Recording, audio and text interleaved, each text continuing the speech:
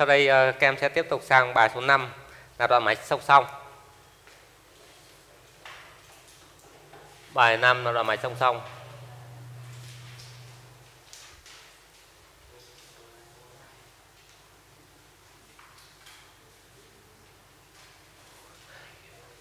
ngay ở cái buổi hôm trước các em học đoạn mạch nối tiếp thì ờ, các em đã biết thế nào mạch song song rồi. Đấy. Đây, thầy không nói nhiều nữa. Chúng ta sẽ vẽ cái mô hình này thôi vẽ cái mô hình ra. R1 R2 hai. Điện trở này cùng mắc vào một điểm đầu và điểm cuối giống nhau. Đấy. Đó. Đoạn mạch như này được gọi là một mạch song song.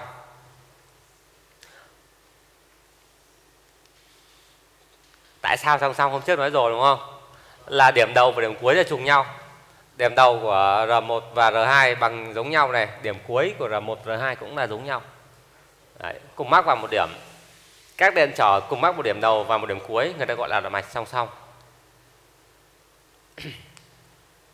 Bây giờ chúng ta vấn đề của chúng ta là hãy đưa ra cái mối quan hệ giữa R tương đương với R1 R2 Y tương đương với Y1 Y2 U tương đương với U1 U2 à, trước hết là chúng ta nói về cái U đã. U quan hệ gì với U1 và U2 Đấy.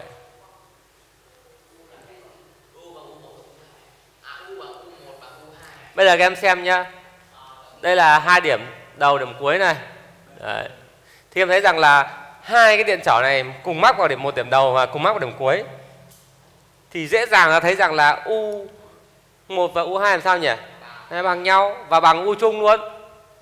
Dễ dàng thấy được không phải nói nhiều đúng không? Quá đơn giản thôi. Cùng mắc vào điểm đầu và cùng mắc vào điểm cuối.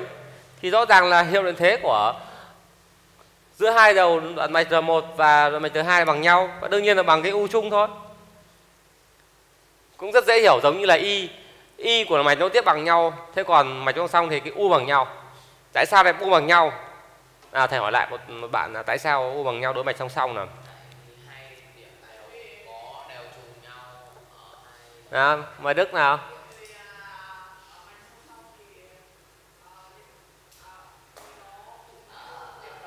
Đúng rồi cùng chung điểm đầu và cùng cùng chung điểm cuối thì đương nhiên là u phải bằng nhá. Bằng nhau được chưa? Còn ai vướng mắc thì chỗ này được không? Ừ. bây giờ chúng ta mới nói tới về cái y các em ạ. Y với y 1 và y 2 có gì quan hệ với nhau? Cái này cũng rất dễ dàng chúng ta suy ra thôi đây, các em xem này, y chính là, y tương đương đây. Thế còn là đây là y 1 và đây là gì? Y 2 em thấy rằng đang là cái y này. Xong rồi nó rẽ nhánh ra y 1 và rẽ nhánh ra y 2 đúng không?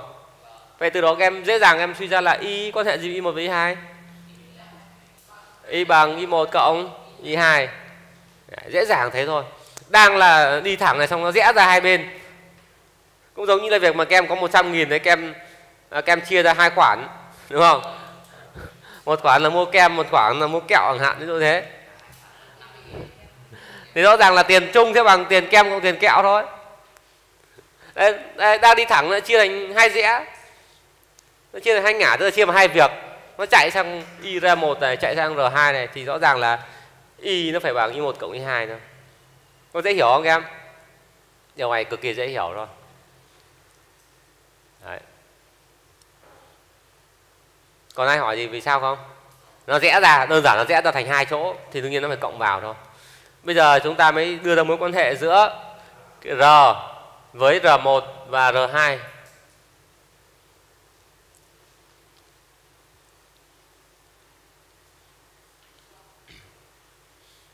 R và R1 và 2 Bây giờ trước khi đưa mối quan hệ thầy sẽ hướng dẫn các em cách xây dựng. À, mấy Đức nào? R, R bằng R1 bằng R2 á. Không bao giờ có chuyện đó. R1 và R2 là hai cái hoàn toàn khác nhau Và nó không phụ thuộc gì vào U hay Y cả. Nó là bản thân nó thôi. Vậy thì nó bằng hay không là là ví dụ như là thằng này sẵn bằng 3 rồi thằng này sẵn bằng 8 rồi thì không thể bằng nhau được. À, r bằng r1 cộng r2 cũng chưa đúng. Tại sao lại như thế? Bây giờ dẫn này. Bây giờ các em thấy rằng là nếu như không có cái r2 này thì dòng điện chỉ có mỗi cách đi qua r1 thôi. Đấy thì một cái R1 thì nó cản trở khá nhiều. Nhưng mà thêm một cái R2 nữa, ta thêm một nối đi nữa. Thêm một nối đi cho dòng điện nữa thì dòng điện nó phải đi theo hai hướng hướng trên, hướng dưới. Vậy thì rõ ràng là cái việc cản trở làm sao nhỉ? Sẽ ít đi. Việc cản trở ít đi thì điện trở tương đương phải làm sao? Phải nhỏ đi. Càng nhiều nối đi thì việc cản trở sẽ càng ít đi mà. Vậy thì r tương đương sẽ phải nhỏ đi. Nhỏ đi thì không thể bằng r1 cộng r2 được. R1 cộng r2 là lớn lên. Vậy thì nó nhỏ đi. Nhỏ đi thì nó phải có quan hệ khác vậy thì thầy hướng dẫn các em xây dựng ta xây dựng cái mối quan hệ này. À, trước hết là ta có y thì bằng cái gì nhỉ? Biết rồi nhưng mà theo mình ôm. Để được ôm thì y bằng u trên uh, u trên r đấy. Để ôm thì y bằng u trên r. Tiếp tục y 1 thì bằng gì? Ở u 1 trên r 1 y 2 u 2 trên trên r 2 đấy đây là áp dụng điện ôm cho chốt đoạn mạch. Thế còn áp dụng ôm cho điện trở r 1 điện ôm cho điện trở r 2 đấy đây là cả đoạn mạch nhá. Đây đoạn 1 này đây đoạn 2 các em hiểu đây chưa? Bây giờ các em nắp vào đây. Các em nắp vào cái đây là thầy gọi là cái 1, đây cái 2. nắp vào công thức 2 thay vào 2 thay vào 2 các em có y thay bằng cái gì đây? U trên u trên r thế còn y 1 thì thay bằng gì? Đúng rồi u 1 trên r 1 dấu cộng để nguyên này dấu cộng để nguyên. Y 2 được thay bằng gì? U 2 trên r 2 đấy mà các em thấy theo đợt 1 thì u1 u2 u bằng nhau. Đấy theo đợt 1 thì u bằng u1 bằng u2 tức là mấy cái trên này giống nhau này u này bằng u1 bằng u2 giống nhau. Giống nhau tôi gọn được không? À, đúng rồi. Lại có u bằng u1 bằng u2 rút gọn à, rút gọn ta suy ra rút gọn đi ở trên là còn gì là một một trên r bằng 1 trên R1 cộng 1 trên R2. Đấy. Đây là mối quan hệ của R. R tương đương R tương đương bằng à 1 trên R tương đương thì bằng 1 trên R1 cộng 1 trên R2. Đấy, ba mối quan hệ này các em phải nhớ.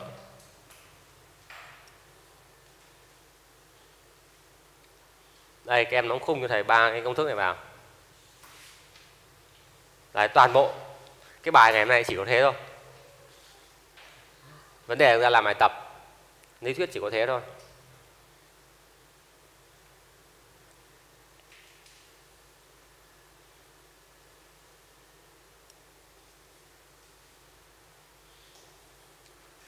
thầy cho các em ờ, uh, 3 phút để các em học thuộc ba công thức này.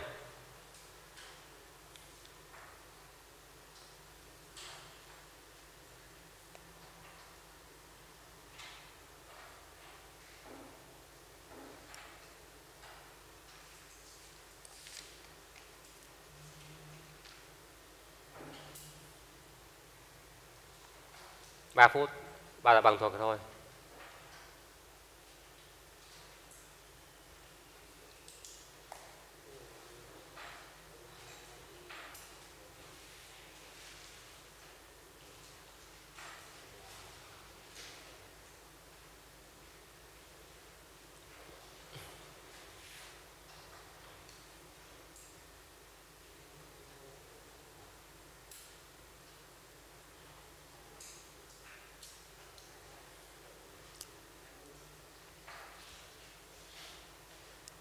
Các em thuộc chưa? Bây giờ thầy ờ, sẽ kiểm tra lại.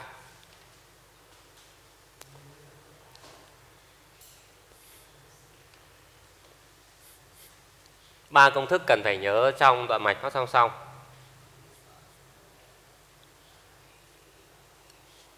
Nào, mời ờ, Phương Anh nào. Y, y tương đương sẽ bằng gì? Y1 cộng Y2 nào tổng Linh nào U tương đương thì bằng gì? U1 bằng U2 đúng rồi. R tương đương quan hệ gì? Mời Long nào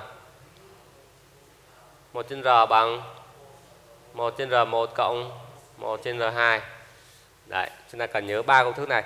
Bây giờ thầy uh, sẽ xét thêm cái công thức 3 Cái công thức R tương đương này. Xét 1 trên R bằng 1 trên R1 cộng với 1 trên R2 xét tức là thầy nói kỹ hơn về công thức này. Tức là bây giờ tính cái r đi.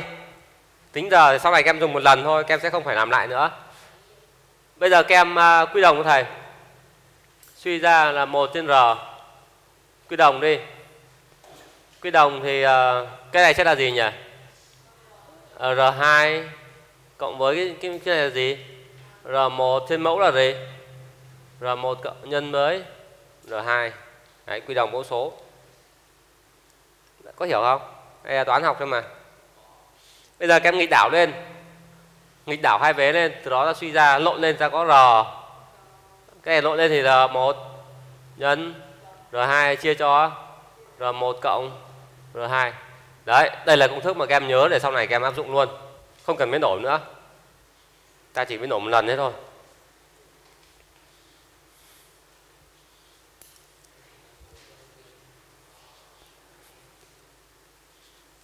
Đấy.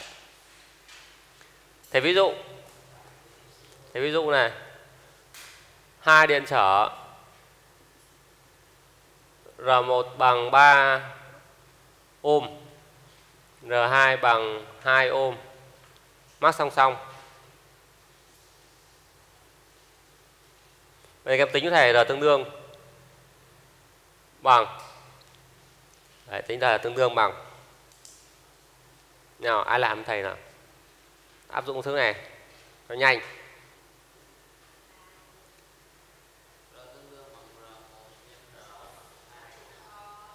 À, mời đức nào? 3 nhân 2 à, 3 cộng 2 tích trên tổng đúng không? Tích trên tổng. Ờ, à, 6 phần 5 bấm ra cái này bằng 1, 1,2 ôm Đấy. Đấy, các em nhớ là mạch song song là bằng tích trên tổng. Đơn giản vậy thôi. Tích trên tổng. Em thấy có nhỏ đi thật không? Nó có nhỏ đi không? 3, 2, 1,2 rõ ràng là nhỏ đi đúng không? Đều nhỏ đi cả nhỏ hơn 3 nhỏ hơn 2 Thế mắc có tiếp thể lớn lên mắc song song thì nhỏ đi.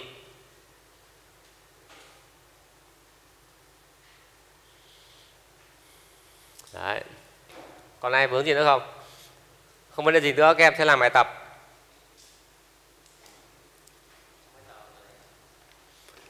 Bài tập 5.1 trang 13 tiếp tục.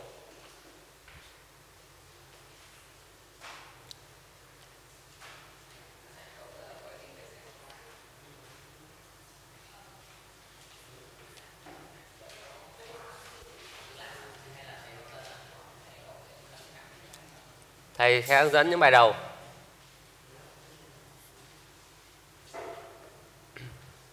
Bài 5.1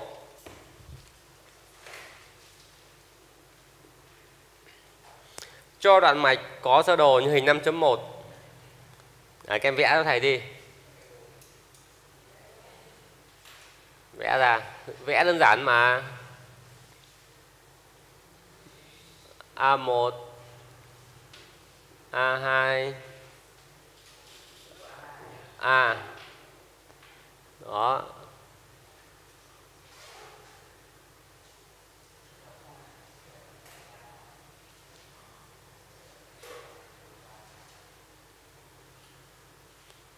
Đây điểm A là cực dương. Điểm B là cực âm.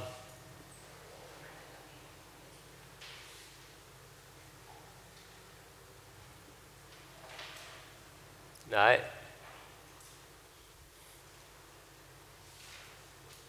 Đây là R1 R2 đấy, các em vẽ đi đã.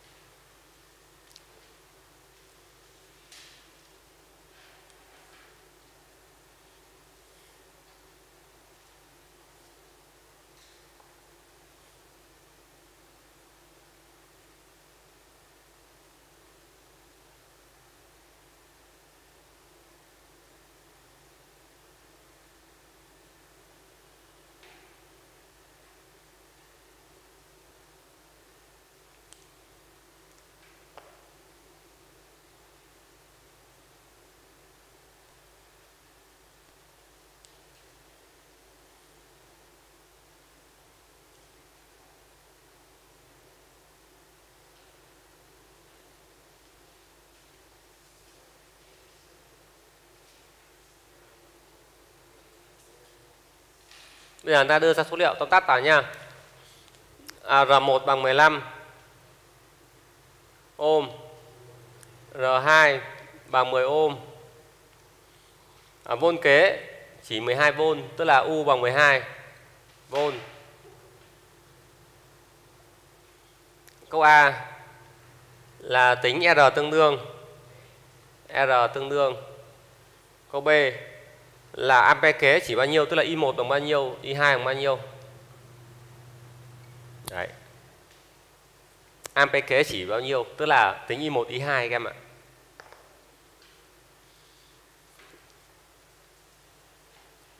Đấy, các em chúng ta để vào sau đó thầy sẽ hướng dẫn.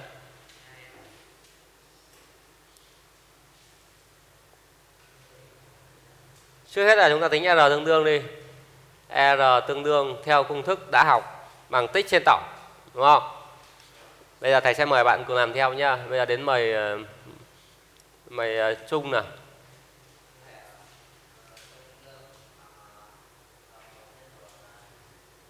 Chia R1 cộng R2 bây giờ thay số nào? 15 nhân 10 15 cộng 10 bấm số này ra.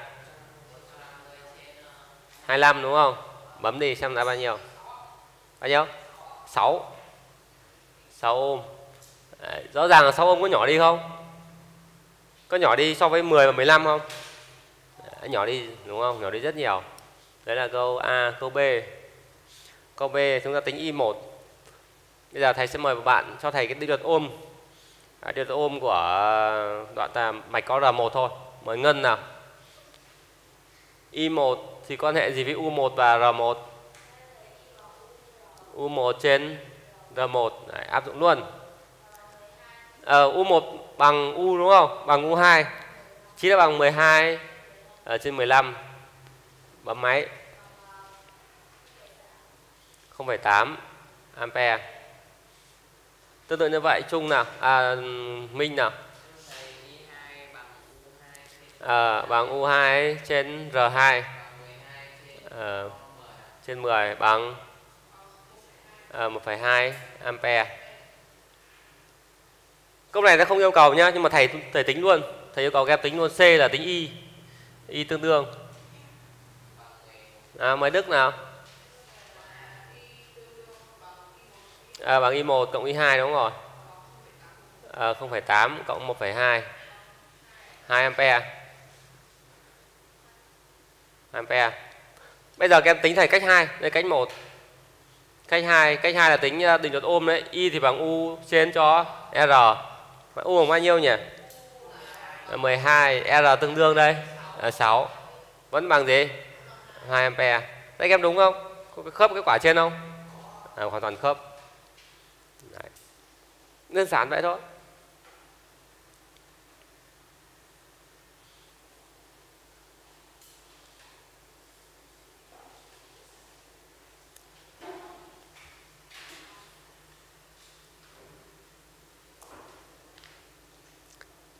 Bây giờ các em à, tương tự như vậy, các em sẽ làm thầy bài 5.2 Các em à, vẽ hình vào đã. Sau tóm tắt đi. Sau đó thì thầy sẽ hướng dẫn. Mấy câu đầu thầy sẽ hướng dẫn.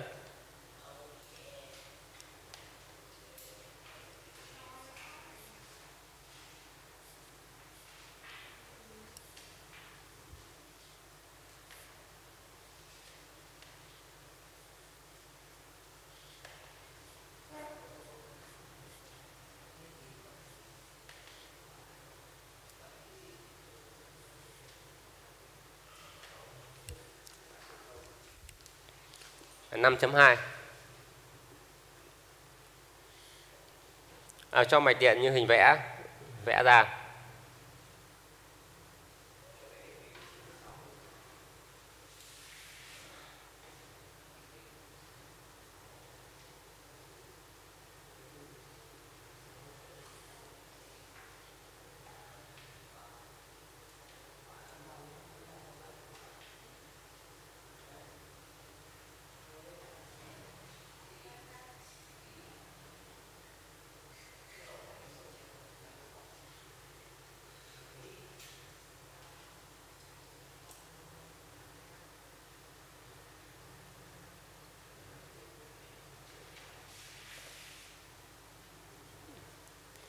Đấy, các em vẽ hình cho thầy đã.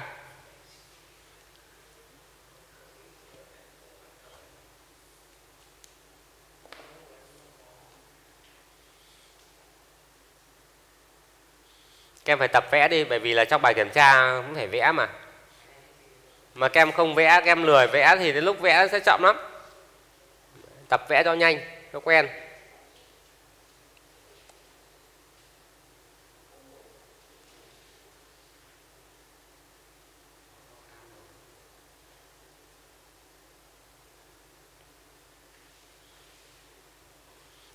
Kể trong bài kiểm tra các em vẽ tay vẫn được. Nếu các em muốn đẹp thì vẽ thước thôi, còn đâu vẽ tay vẫn không ai trừ điểm của em cả. Nhưng mà không có hình thì bị trừ điểm, thế đó bài đề bài không cho hình em vẫn phải vẽ. Đấy, giống nhá chính xác đấy, giống kiểu tóm tắt đấy. Có hình thì vẫn phải tóm tắt. Học cấp 2 là thế các em ạ. Học cấp 2 thì người ta rất cần cái đó, nhưng cấp 3 thì các em chả cần lên cấp 3 thì bỏ hết tóm tắt tóm tét bỏ hết. Kể cả lên cấp 3 nhá giả thiết kết luận trong hình học ấy cũng bỏ. Đúng rồi lên cấp 3 là người ta không không yêu cầu dâu ria nữa các em ạ. À, chỉ cần làm sao mà làm ra kết quả chuẩn là được. Đúng rồi cứ kết quả đúng cứ kết quả đúng là điểm kể cả không cần lời giải kể cả không cần có một chữ nào.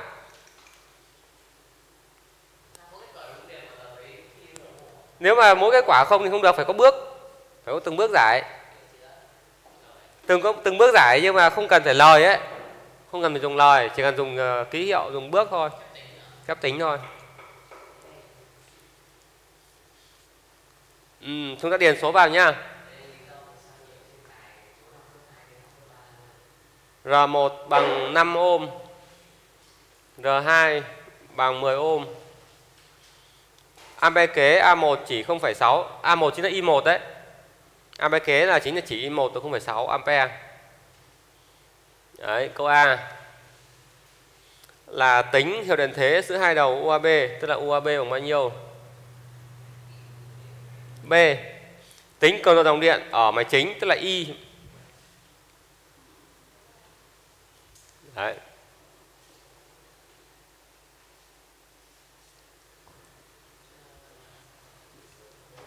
Bài giải. UAB nào chúng ta biết cái gì rồi đây? Biết I1 là 0,6 A đây. Biết R1 bằng 5 ở đây. Biết R2 bằng 10 vào đây. À, đầu tiên là ta tính cho thầy cái UAB thì đúng bằng cái gì nhỉ? Đúng bằng U1 đúng không? Mà song song mà. UAB thì bằng U chung là bằng U1 mà U1 thì theo luật ôm là à, bằng y1 nhân nhân R1 đúng không? Đấy, bằng y1 nhân với R1 y1 biết rồi 0,6 R1 cũng cho rồi. À, 5 ở 3 đơn vị là là vôn. Đấy đã xong câu A nó giản thế thôi. Câu B câu B là kem tính Y. Y thì uh, chúng ta sẽ áp dụng công thức là Y thì bằng U trên R Y bằng U trên R U vừa tính xong Vậy muốn tính y cần tính gì? À, tính r và tính r tương đương. Theo ờ, mạch song song là thì thì một tích trên tổng đúng không? R1 nhân R2 chia cho R1 cộng R2 thay số vào R1 là 5, R2 là 10. À, 5 cộng 10. 50 chia cho 15. 50 trên 15. Đấy. Cứ để đấy nó lẻ cái để đấy em ạ. Lẻ cái để đấy vậy thì cái này sẽ bằng. Ờ, số gọn cho 5 đi. Bằng, bằng 10 phần 3 vậy theo thay số vào thì y sẽ bằng u là 3 đúng không? U là 3 chia cho chia cho 10 phần 3 chia vào những nghịch đảo. Nghịch đảo lên tức là bằng 3 nhân Ờ, nhân 3 phần 10 đúng rồi. Đấy. 9 phần 10 đâu 0,9 ampere. Đấy, cái nào lẻ em để nguyên. Tí nữa ta đảo lên nó sẽ hết lẻ.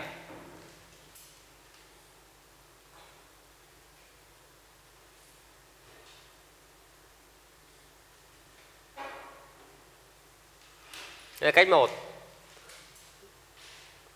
còn cách 2 nữa cách 2 áp dụng công thức là y bằng y tổng cách hai là áp dụng công thức là y sẽ bằng y 1 cộng ở y 2 y 1 cho sẵn rồi đúng không? Y 1 cho sẵn là không phải 6 cộng y 2 bây giờ tính y 2 là xong. Mà y 2 thì bằng gì nhỉ? U2 trên r2 mà u2 này chính bằng u chung. Nó bằng 3 ở trên 10 3 trên 10 là 0,3 Đấy, trong thay vào đây. Vậy thì y sẽ bằng 0,6 cộng 0,3 thôi ừ, Cũng là 0,9 ampere Đấy, có hai cái tính đều được cả Đấy. Em hiểu chưa?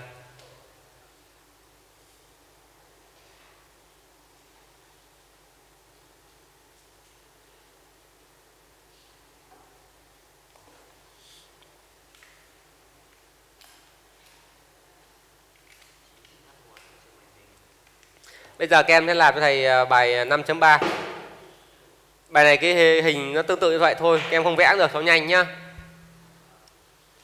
Bài 5.3 Các em không vẽ hình cũng được. Chỉ việc thay này bằng A2 thôi. Bài 5.3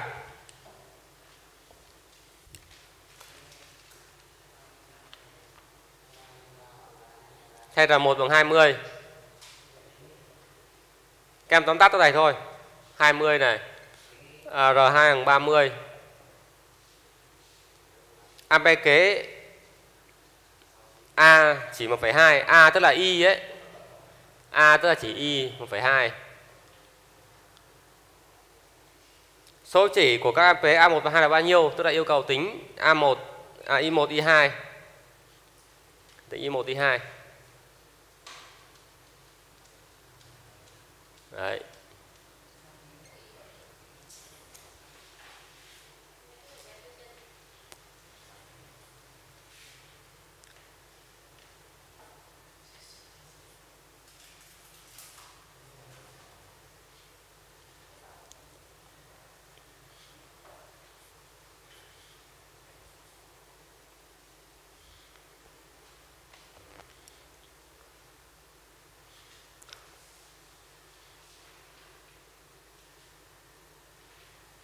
Thay này bằng 20 này. Cái này thay bằng 30 này. cái này là 1,2 này. À, ai làm được câu này thầy?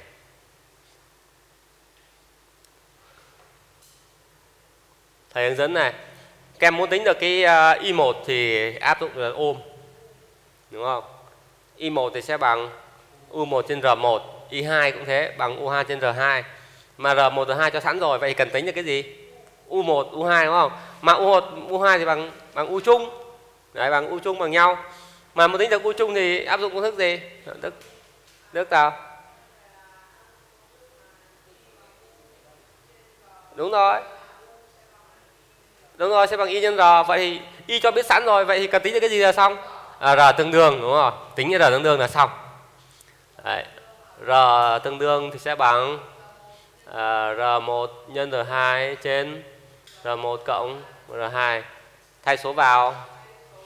20 nhân 30 trên 20 cộng 30 bấm ra. 12 hả? 12 ôm đấy.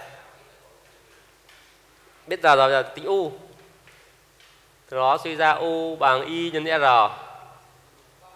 1,2 nhân 12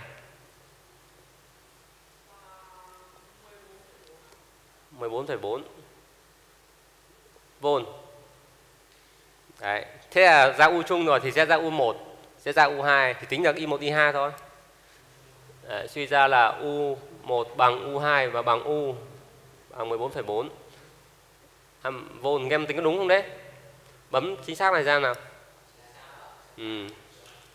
vậy thì Y1 sẽ bằng U1 trên R1 14,4 chia cho R1 là 20 bấm ra. Y2 bằng U2 trên R2 bằng 14,4 chia 30 bấm ra. Cái trên này bao nhiêu? 0,72 ampere. Đó. Hết. Em thấy không? Đơn giản thế thôi. Đấy, 2 phút là xong.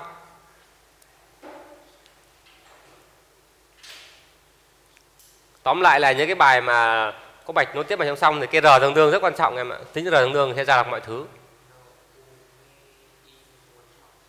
Đúng rồi ui là sẽ suy ra. Cái r tương đương là là cái gốc.